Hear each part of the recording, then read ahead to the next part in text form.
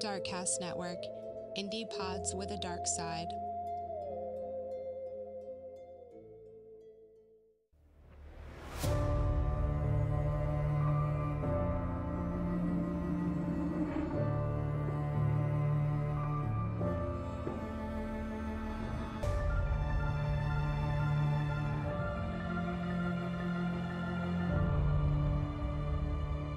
Hello, and welcome back to Fuck That.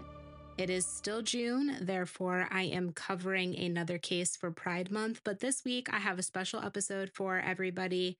I am collaborating with CJ, who is the founder of Darkcast Network, which, if you couldn't tell by the soundbite at the beginning of every single one of my episodes, it is the podcast network that I'm a part of. So, we are going to be collaborating on a central topic, and that topic is the gay panic defense. CJ is the host of Beyond the Rainbow podcast, which focuses on crimes committed by and against the LGBTQ plus community. So you're going to be hearing about two different instances of the gay panic defense being used. And the case that I am going to cover is the first time that the gay panic defense was used in the United States. But before I delve into that, I want to give a little bit of a background on the gay panic defense. This is a legal strategy that refers to a situation in which a heterosexual individual that is charged with a violent crime against an individual in the LGBTQ plus community, and this is typically murder, claims that they committed the crime because they simply lost control. Now, this defense is centered around an alleged unwanted sexual advance that caused the individual to react violently and is then used in the hopes of getting an acquittal, a mitigated sentence, or a conviction of a lesser offense. The case that I'm covering today, which is the first instance that it was used, again, the perpetrator was ultimately convicted of a lesser offense.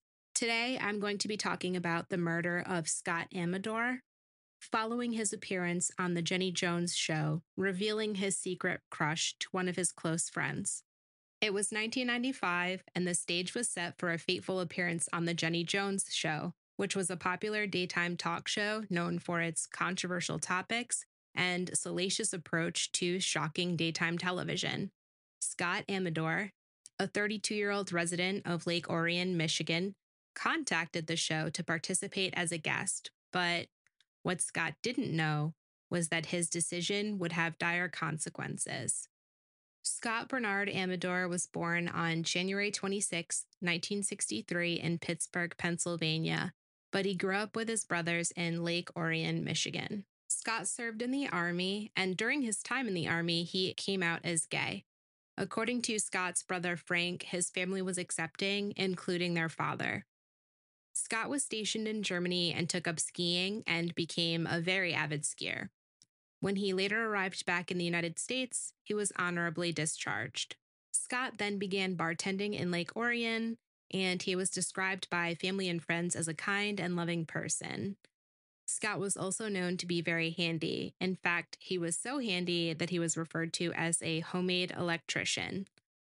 One of Scott's favorite shows was The Jenny Jones Show, and he watched it religiously.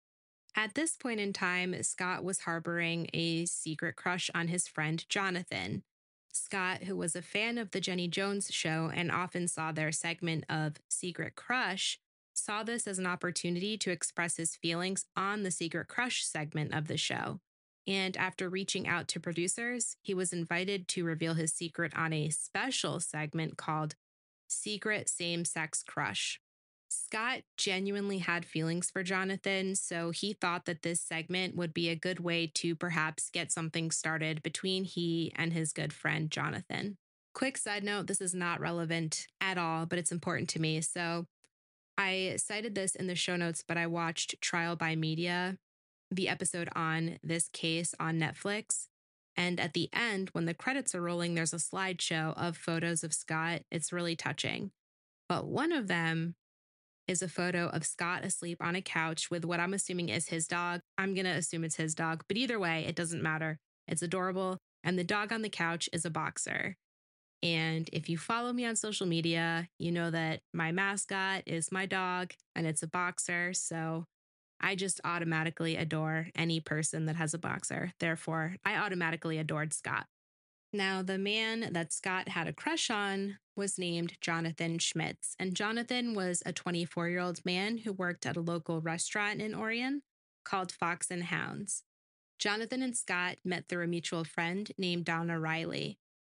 Donna lived in the same apartment complex as Jonathan, as well as one of Scott's brothers. So one day, while Scott was visiting his brother, he happened to meet Jonathan, who was working on fixing the brake lines of Donna's car in the parking lot. Circling back to Scott's favorite show, which was the Jenny Jones show, initially, when Jenny Jones started this show, she had aspirations of portraying herself as someone similar to Oprah. And that is how her show was formatted when it began. She really wanted to mirror that talk show experience, but one that was productive and not similar to other talk shows of that time, like the Ricki Lake Show, Sally Jessy, Maury, Jerry Springer. So she wanted to be more of a helpful and positive talk show. When the Jenny Jones show was launched in September of 1991, it was actually the biggest launch in syndicated talk show history, and it debuted over 178 television stations across the United States. Again, the show was formatted as a traditional talk show, and this was during the first two years it was on air. But by 1993, ratings were consistently low. So this prompted the show to shift towards a more Jerry Springer type format. The Jenny Jones show began to incorporate themes that included paternity tests, strippers, secret crushes, neighbor feuds, and bad teenagers. I swear to God, I wish that the bad teenager segment never existed because if it wasn't for that, we would never have to deal with bad baby. But I digress. One of the positives about the shift in format of the Jenny Jones show is that it began to include live performances, and there were actually several big names that made their first national television appearance on the Jenny Jones show. And some of those artists include Ludacris, 3 6 Mafia, and Usher. However, all of that aside, the Jenny Jones show took on the approach of ambush television, and this is something that's very problematic still to this day. Ambush television was something that was widely used across the board at the time on popular talk shows. We've all seen it. Maury, Sally Jessy Raphael, Jerry Springer, You're Not the Father. We've all seen that salacious television. And now Jenny Jones wanted to incorporate this style because that's where the ratings were at at the time. If you're a millennial, you are very familiar with what ambush television is, especially on those sick days or the days that you played hooky, staying home from school. You see all of those cheating episodes, paternity tests, what have you. Basically, ambush television is any kind of episode that keeps information from participants. And this is done in an effort to deliberately trick and embarrass them in the hopes that it would cause a confrontation in front of a live audience. Ambush television manipulates participants in order to spark a very emotionally charged reaction. So, this case takes place in 1995, and the show shifted to that ambush television format in 1993. So, by 1995, the producers were well versed in getting ratings high following an ambush style format. So at this point, the producers were known for pushing boundaries to create dynamic television. And when Scott applied for the Secret Crush segment, they saw this as an opportunity for a truly sensational episode. They orchestrated the revelation, keeping it a surprise from Jonathan until the moment it unfolded on stage. In fact, when Jonathan was contacted by the producers after Scott had submitted his application to be on the show, they informed him that there was somebody who had a crush on him. Now, this is where it varies. Producers state that they said that it could be a man or a woman, and this is Warner Brothers distributed the show, and producers and Warner Brothers have taken a united stance and said, nope, we said it could be a woman, could be a man. However, Jonathan in his defense firmly states that they said that it was a woman. But either way, Jonathan was told that he needed to come onto the show to determine who his secret crush was. My opinion doesn't really matter, to be quite frank, but I'm inclined to believe that the producers did not tell him it could be a man or a woman, and I will elaborate why in just a second. On Monday, March 6, 1995, the episode titled Same Sex Secret Crushes was recorded in front of a live studio audience in Chicago, Illinois. Scott nervously took the stage, knowing that he was about to reveal his secret crush on one of his really good friends. But little did Scott know that this moment would lead to a chain of events that would end in tragedy. The episode would never air, however, you can find it online.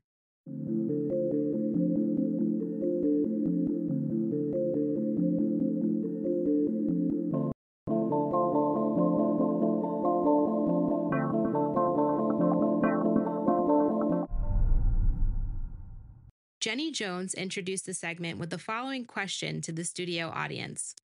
I've watched the episode in its entirety, so these quotes I've pulled directly from the episode and anything that I have in terms of commentary to try to describe the dynamic of the episode is coming from me directly watching it.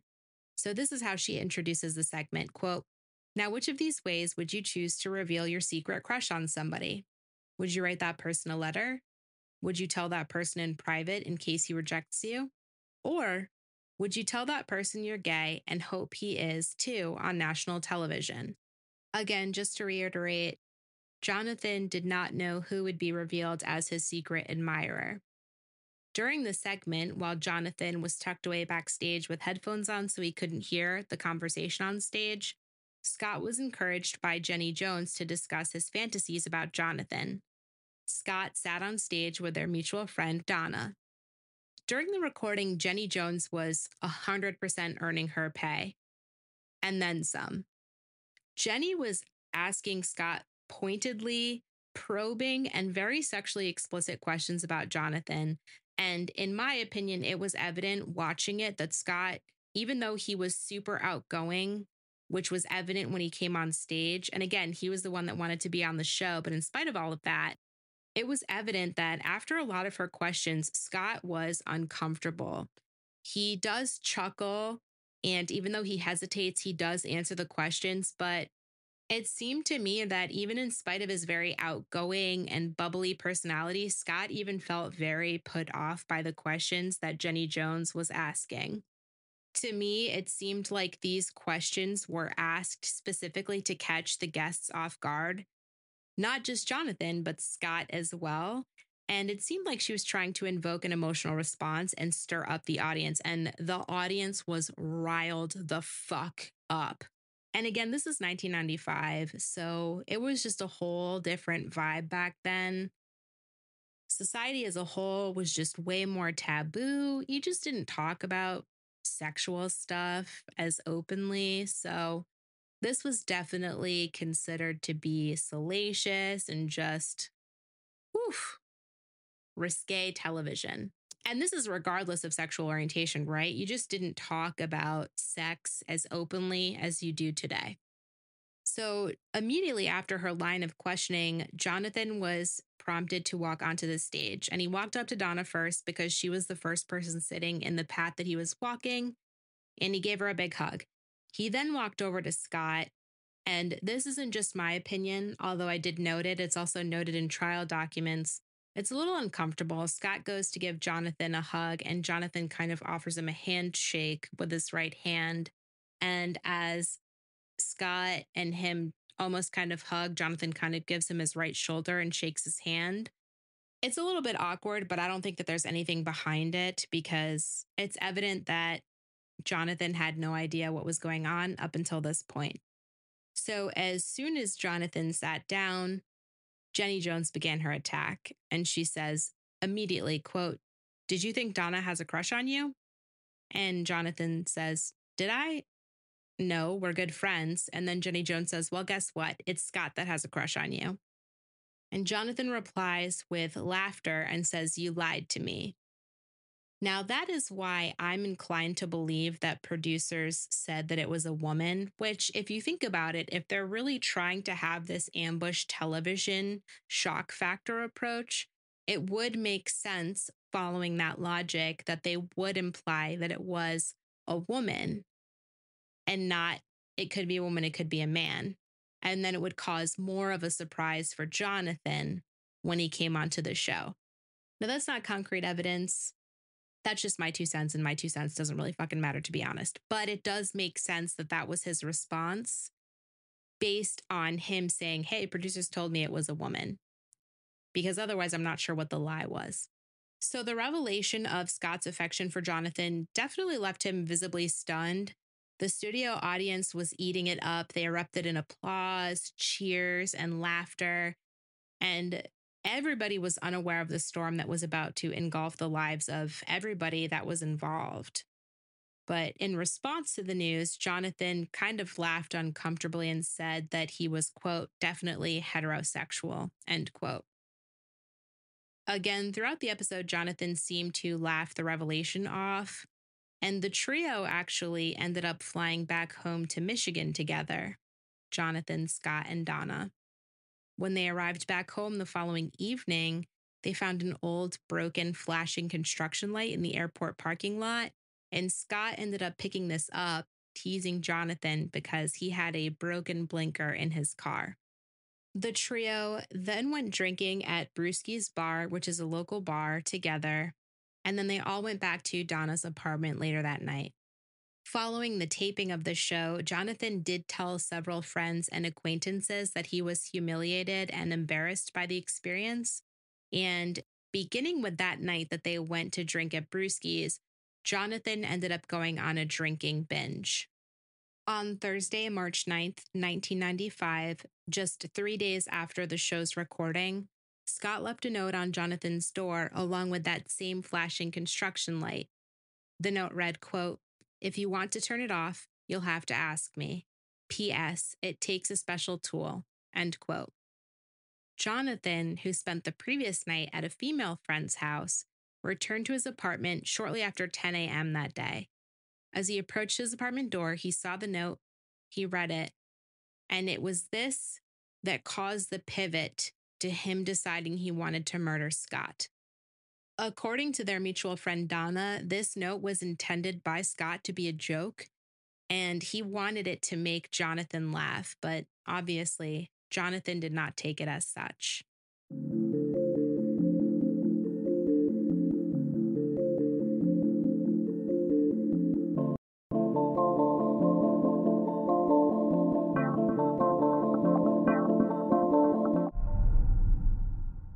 That morning, Jonathan, who was overwhelmed by a mix of humiliation and anger, went to his bank and withdrew $300 from his savings account.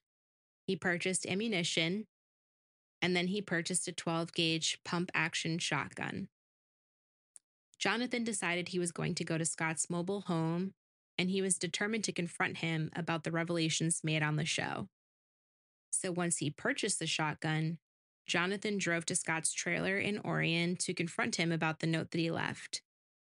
But according to court documents, Scott simply smiled at Jonathan.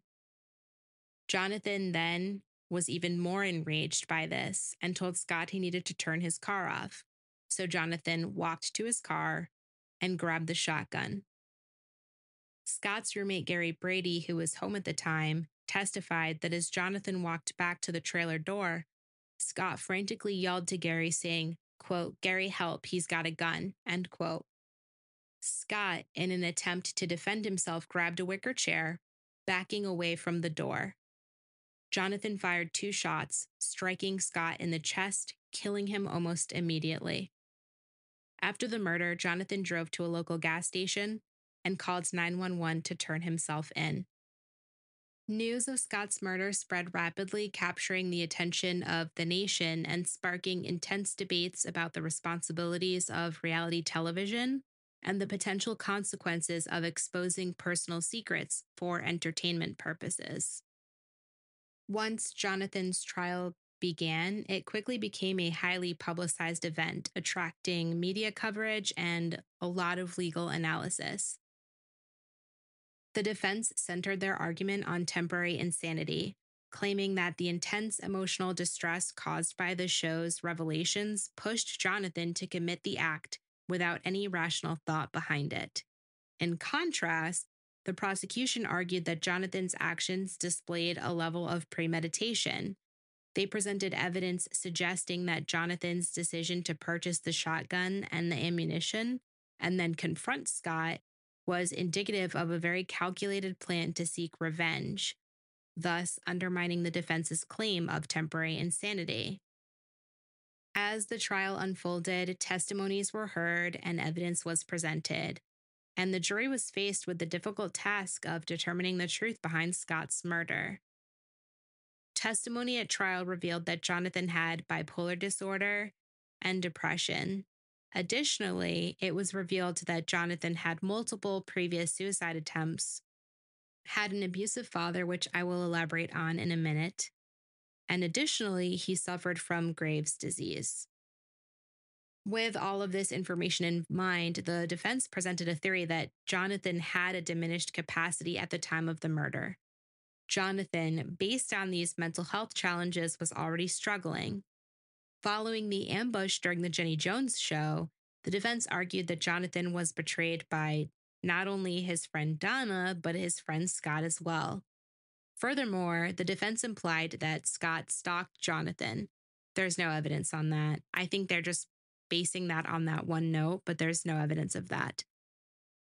Based on all of this, the defense stated that Jonathan did not have a sufficient mental capacity because he was suffering from bipolar disorder, depressive disorder, and additionally, the consequences that he suffered from untreated Graves' disease. Quickly, this is an autoimmune disorder it causes an overactive thyroid or hypothyroidism. So essentially, your body is creating more thyroid hormones than it needs.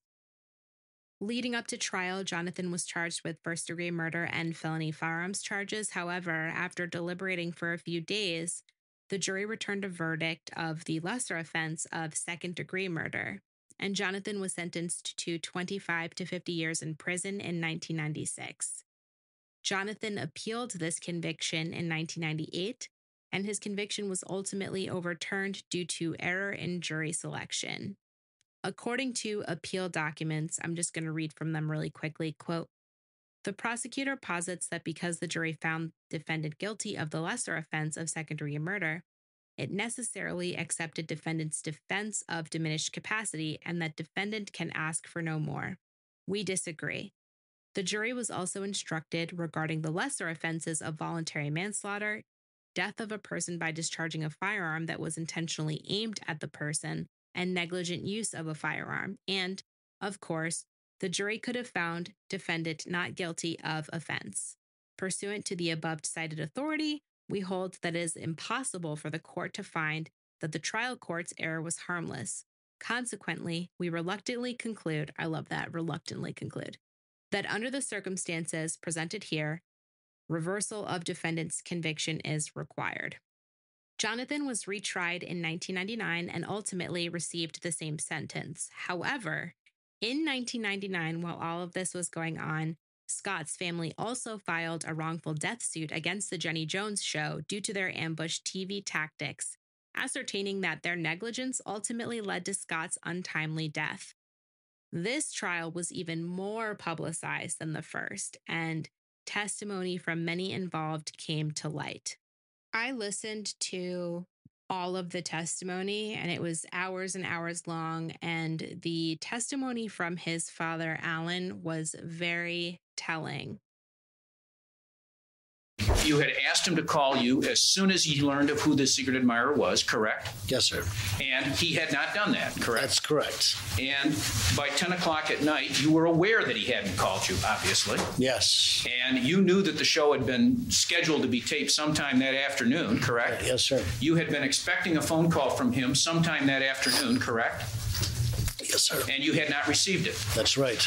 And uh, it was now hours after the show had been taped, and you still hadn't received a phone call, correct? That's right.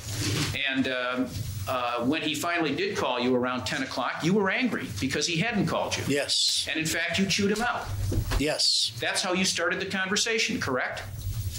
Yes. And uh, you became more angry when you found out that his secret admirer was a man, correct? Yes. And you expressed your anger, did you not? Yes. You were violently angry, were you not? Yes. You were really honked off about this, weren't you, Mr. Schmitz? Yes, sir. And you told him that, didn't you? I didn't tell him that. I, I made a statement. I, I was very angry. I didn't I didn't convey my anger to him, more of my consolation to him. Sir, just like you were able to tell us what your son's mental impressions were and his state of mind was and how he was reacting to this, you made it pretty clear to him in that phone conversation you were angry. You were not happy, correct? I was not happy with what had happened to him. I was not that I was not happy with him. Yeah, and in fact, you were so unhappy about it, you used an expression, sir. You said, gay what? Bastards. Sure, that's all you said? I it was something, it was an expletive of that, whatever. You sure it didn't begin with an F and end with an S? It could have been that. I just said that for the not being profane in front of the court. I And I understand, said that in the criminal trial too. I understand that, and I don't want you to be profane. But in fact, what you said began with an F and end with, ended with an S, didn't it? Yes, that's what I Gay, said. Yes. right? Gay, I'm sorry? Began with an F and ended with an S. Oh, yes, okay, yes. I'm sorry. Okay? I understand what the word is. Okay. I think we all understand what you said, sir. And you threw a chair, didn't you? Yes. So you had gone from the point of being wildly enthusiastic and thinking of grandchildren to learning that your son's secret admirer was a man and you didn't like it, did you?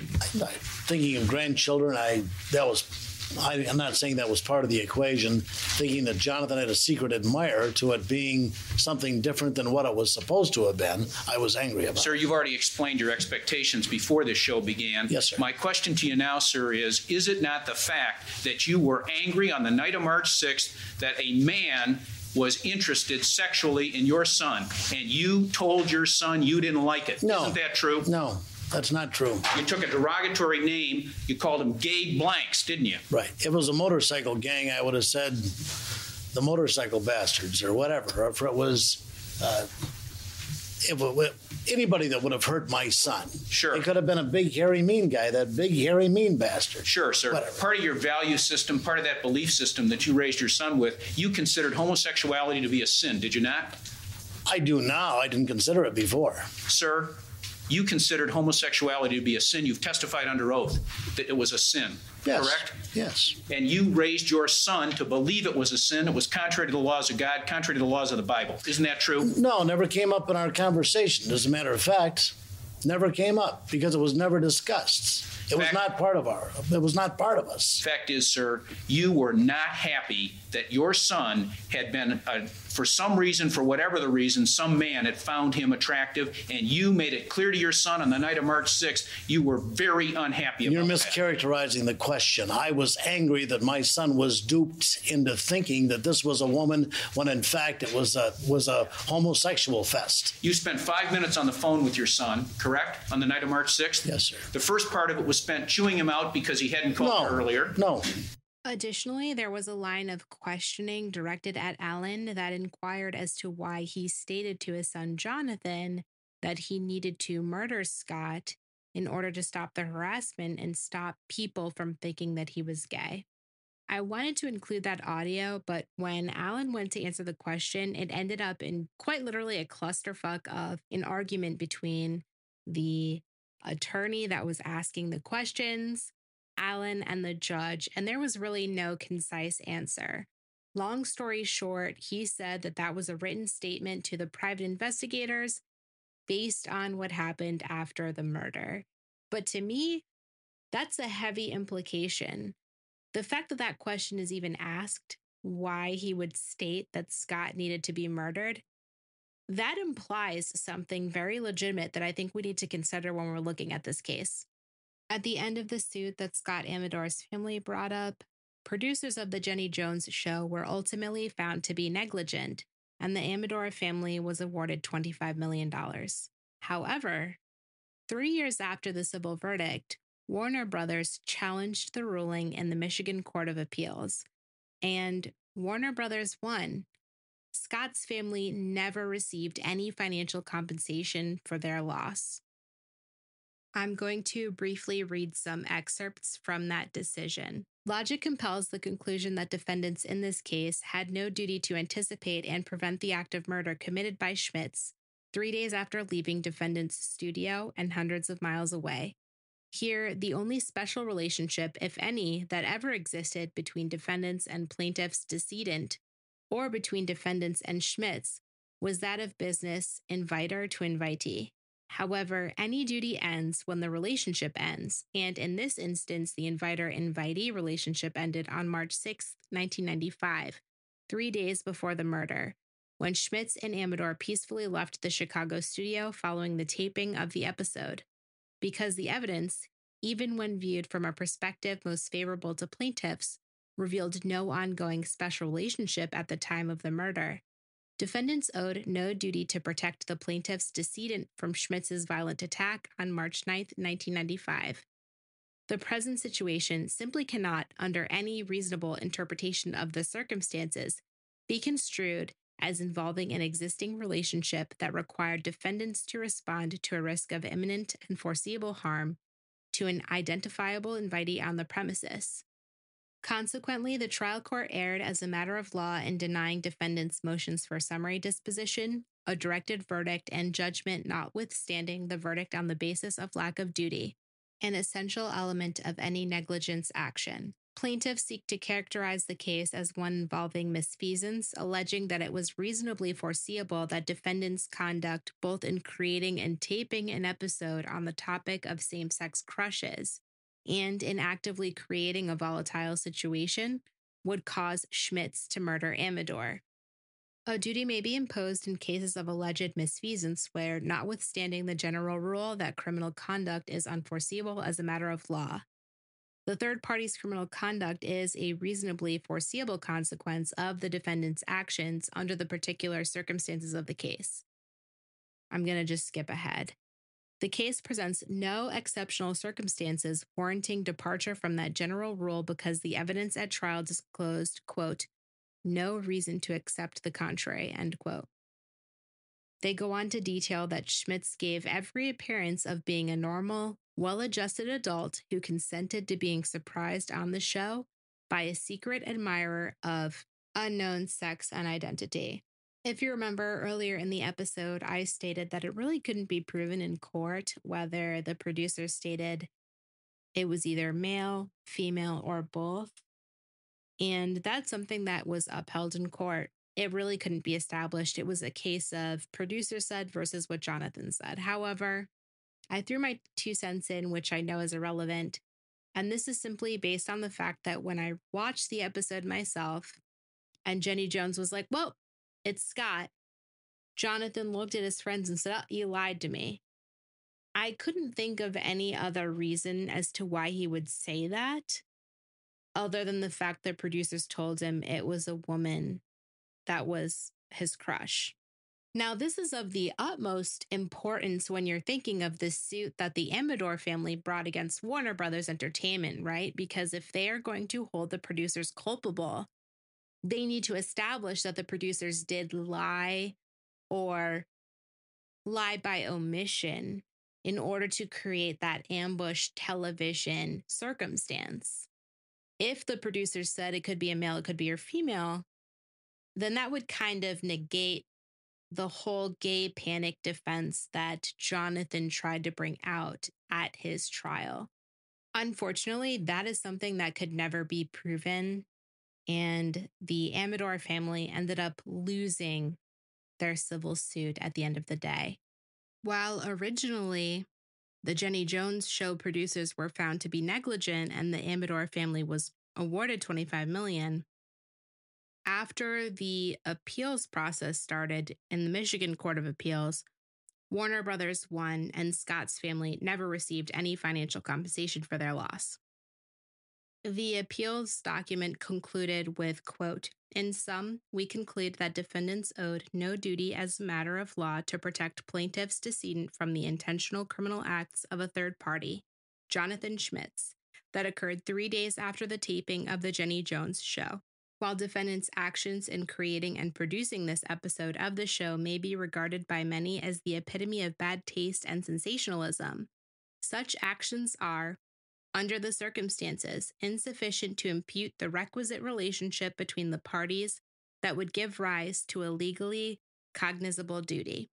The trial court, therefore, erred in denying defendants' motions in this regard. Because we find no antecedent duty, we need not address the other issues raised by defendants on appeal. Accordingly, we reverse the judgment, vacate the order, and remand to the trial court with directions that it enter a judgment and order in favor of defendants. Judgment reversed, order vacated, and case remanded. We do not retain jurisdiction. According to the LGBTQ plus bar, today, the panic defense has been banned in the following states California, Illinois, Rhode Island, Nevada, Connecticut, Maine, Hawaii, New York, New Jersey, Washington, Colorado, the District of Columbia, Virginia, Vermont, Oregon, Maryland, and New Mexico. Legislation against the LGBTQ plus panic defense has been introduced, but has not yet been passed in so many fucking states. This is ridiculous.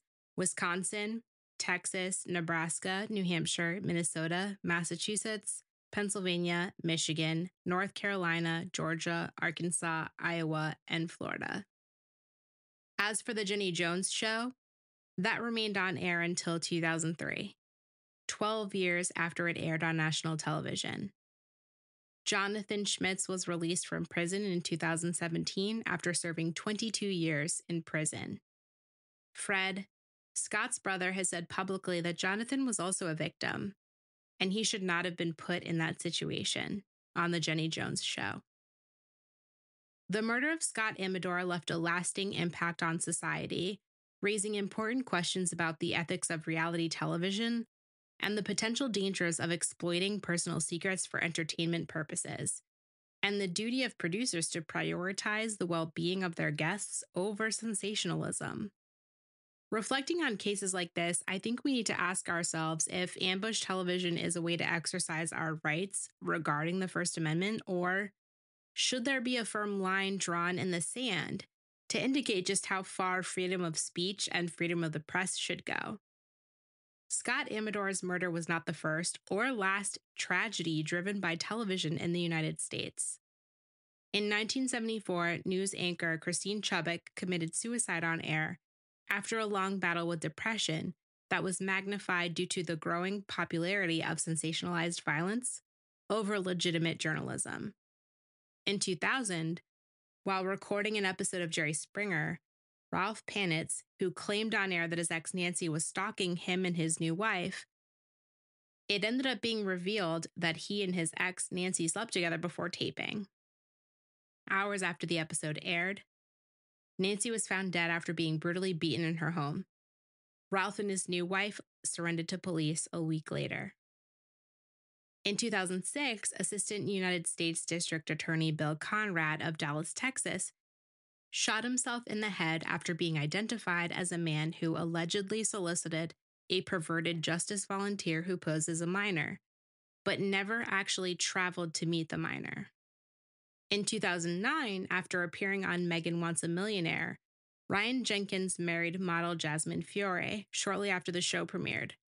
She was found dead on August 15, 2009, strangled and stuffed into a suitcase. Jenkins was charged with murder, ultimately committing suicide eight days later on August 23rd, prompting the series to be canceled. The murder of Scott Amedure serves as a tragic reminder of the far reaching consequences that can arise when boundaries are crossed, privacy is violated, and emotions are pushed to their absolute breaking point. Scott's memory and the events surrounding his murder continue to remind us of the fragility of life and the profound impact that our actions absolutely have every day on the lives of others. Even today, almost three decades later, Scott's murder serves as a cautionary tale. It's a reminder that the consequences of our actions and the power of our words can extend far beyond our intentions, be it good or bad. And now, here's CJ from Beyond the Rainbow. Far too many killers are allowed to use the gay trans panic defense in those states that still allow it. I have another case that I'm going to tell you about where it was also used. And the ironic thing about this case the victim who was murdered in the case was from the state of Virginia. The state of Virginia in 2021 was the first southern state to adopt the gay trans panic defense. 19 year old Isimemen Etute was in his freshman year and a linebacker for the Virginia Tech football team in April of 2021. He started to talk to someone on Tinder, someone who presented as a woman and called herself Angie. A few episodes ago, I said trans folk live under a double edged sword. They're damned if they tell people they're trans, and they're damned if they don't. Well, Angie, who also went by Gigi Smith, was assigned male at birth their family and friends knew them as 40 year old Jerry Paul Smith, and they believed Jerry was an openly gay man.